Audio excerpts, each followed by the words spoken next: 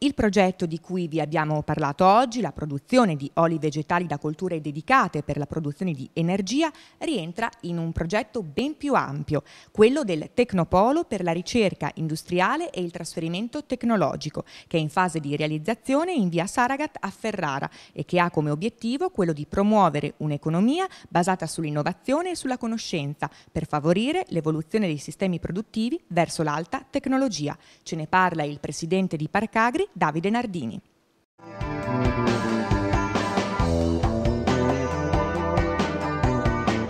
Il primo passo verso la creazione del Tecnopolo che avverrà, i lavori inizieranno a settembre, finiranno diciamo così, entro la metà del 2012 e quindi potrà iniziare, soprattutto in questo caso legandolo all'agroambiente, diciamo una struttura d'eccellenza piuttosto importante. Il tema qual è? Tra l'altro ancora più eh, importante, che come sempre la ricerca a volte è molto avulsa diciamo, dalla produzione, molto avulso dal sistema delle imprese. Noi in questo modo invece abbiamo creato quel trasferimento tecnologico, cioè di innovazione di, di processo e di prodotto che l'impresa vuole, nel senso che la ricerca e il convegno che stiamo presentando oggi è quello che l'impresa ci ha chiesto e noi a nome dell'impresa facciamo questa ricerca. Quindi in questo caso ad esempio noi potremmo creare, se la ricerca va a buon fine come io credo e come io spero, potremmo creare un elemento di competitività per l'impresa ferrarese rispetto a tutto,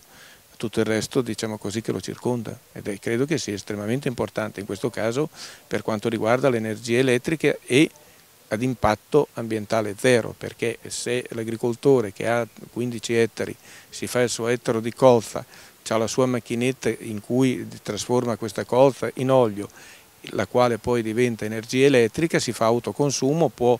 avere energia elettrica per la propria stalla, può avere energia elettrica per il proprio mulino, può avere energia elettrica per la propria famiglia, per la propria azienda, in buona sostanza ad un costo nettamente inferiore a quello che pagherebbe la bolletta energetica complessiva. La provincia continuerà ad investire anche economicamente in questo progetto, quale sarà il suo ruolo in futuro? Abbiamo il 40% di capitale di Parcagri, siamo quelli che mettono a disposizione oggi quasi oltre 2 milioni di euro per realizzare il Tecnopolo, credo che più di così non ci si possa credere.